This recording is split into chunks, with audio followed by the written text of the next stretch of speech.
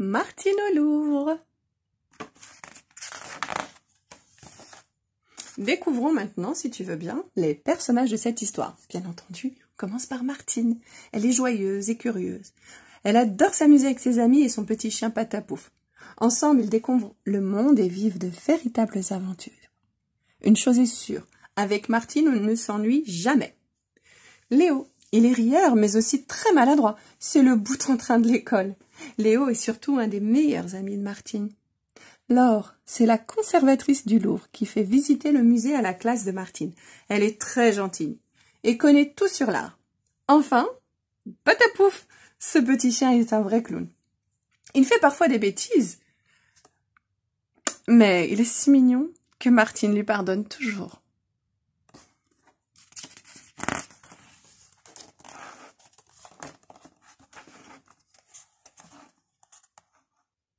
Aujourd'hui est un grand jour pour Martine, Léo et les autres élèves de leur classe. Ils vont visiter le musée du Louvre. Malgré la pluie battante, tout le monde est surexcité. Dans le car qui les emmène, Cécile, la maîtresse, explique. Habituellement, le mardi, les musées sont fermés. Mais ma sœur est conservatrice au Louvre et nous a organisé une visite privée. Rendez-vous compte, les enfants, de notre chance incroyable nous aurons pour nous tout seuls le musée le plus fréquenté au monde. Alors que le soleil fait son apparition, le car aborde une vaste place. Ça alors s'étonne Léo. On dirait un palais. En effet, le Louvre a été la demeure des rois de France, de Charles V à Louis XIV, acquiesce Cécile. Martine essuie la buée sur la vitre pour mieux voir. Léo, lui, a les yeux rivés sur l'édifice de verre au centre de la cour. Une pyramide, murmure-t-il, comme au temps des pharaons.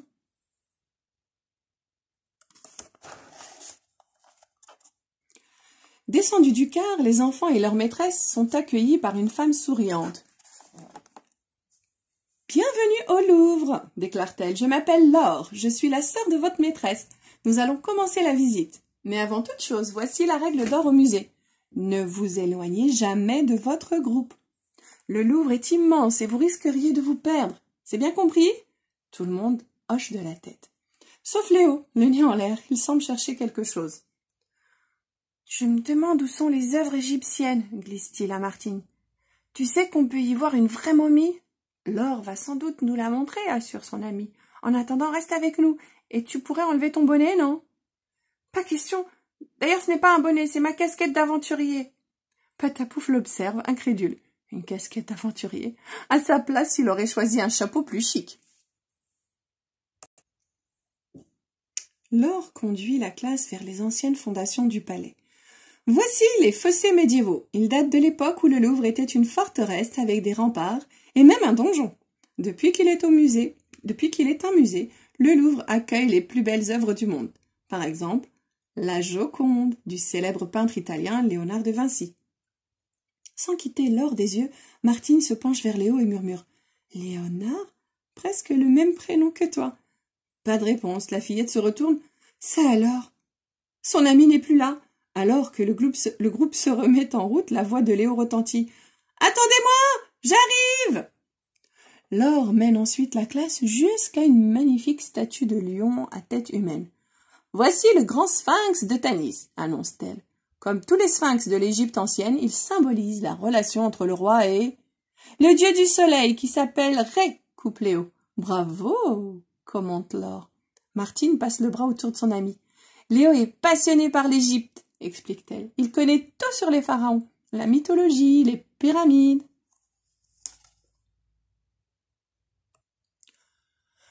Alors que toute la classe reprend la visite, Léo reste derrière et s'échappe à la recherche de la fameuse momie. Martine l'aperçoit. Léo appelle-t-elle. Son ami est déjà loin, captivé par le sarcophage de Tamout-Nefret. Martine le rejoint, hors d'haleine. Léo, on doit rester avec le groupe, je te rappelle. Oh, Martine, je veux seulement trouver la momie, supplie le garçon. D'accord, soupire la fillette après une hésitation. Mais faisons vite, elle ne voit pas Patafouf qui s'agite pour signaler que la classe est partie dans la direction opposée. La voilà s'écrie Léo en pénétrant dans la salle suivante. La momie de Paquery. repose dans un caisson de verre, les mains croisées sur la poitrine. Tout son corps est enveloppé de bandelettes. Martine est aussi fascinée que son amie. La momification devait garantir une vie éternelle après la mort, explique Léo. Ils scrutent la momie encore plusieurs minutes, puis font demi-tour, suivis de Patapouf. Quand ils arrivent au bas de l'escalier, les deux amis se figent. Leur classe a disparu. On est perdu s'affole Léo. Ne t'inquiète pas, il suffit de chercher la célèbre toile dont nous a parlé Laure, répond Martine. Je me souviens que le nom du peintre ressemblait au tien. Oh, c'est déjà une piste, convient Léo, un peu rassuré. Et puis, nous sommes seuls dans le Louvre, alors euh, il n'y a qu'à tendre l'oreille. Sans oublier le flair de patapouf, ajoute Martine avec un clin d'œil. Alors qu'ils s'avancent, les deux amis aperçoivent la statue d'un scribe, assis en tailleur. Martine s'arrête pour l'observer. Tu vois comme son regard est perçant, et ses traits sont si fins. Tu te rends compte qu'il a plus de quatre mille ans Même Patapouf en reste bouche bée. Les enfants circulent parmi les sculptures et les tableaux. Dans l'aile Sully, une peinture attire l'attention de Martine. Elle s'approche et lit. Le trichard, à l'as de carreau de Georges de la Tour. Non, ce n'est pas le peintre dont parlait Laure, même si ce tableau est très beau. Léo paraît inquiet. Imagine qu'on ne retrouve jamais les autres, murmure-t-il. Bien sûr que si. Et puis, Cécile ne partirait jamais sans nous. Mais il faut qu'on se presse. Ouf, ouf aboie Patapouf, comme pour dire je suis bien d'accord. Assez discuté, en avant. Guidés par leurs compagnons à quatre pattes, Martine et Léo franchissent de hautes portes en fer forgé. On se croirait à Versailles, commente Martine. Au centre de la galerie d'Apollon, une magnifique couronne scintille, dans une vitrine. Léo déchiffre l'étiquette. Couronne de Louis XV, sertie de 282 diamants, 64 pierres précieuses et 237 perles. pas étonnant qu'elle brille de mille feuilles, de mille feux. Devant tant de splendeur, Léo se rêve roi de France. Toi, Martine, tu es ma reine, déclare-t-il, et patapouf ton serviteur. Les deux amis commencent à avoir chaud. Parcourir le plus grand musée du monde, c'est sportif, mine de rien. Léo enlève son manteau et demande à Martine. Tu n'as toujours pas retrouvé le nom du peintre Léopold? tente-t-elle, mais elle secoue la tête. Non, ce n'est pas ça. Et son regard se perd dans le vide. C'est alors qu'elle aperçoit une imposante statue ailée à la proue d'un bateau de marbre blanc.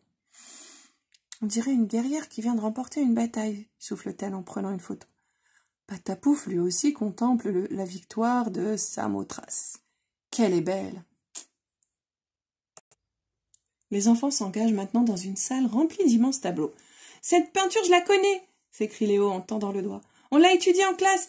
C'est la liberté guidant le peuple, acquiesce son ami. Elle est en couverture de notre livre d'histoire. Tous deux s'assiedent sur un banc. La fatigue commence à se faire sentir.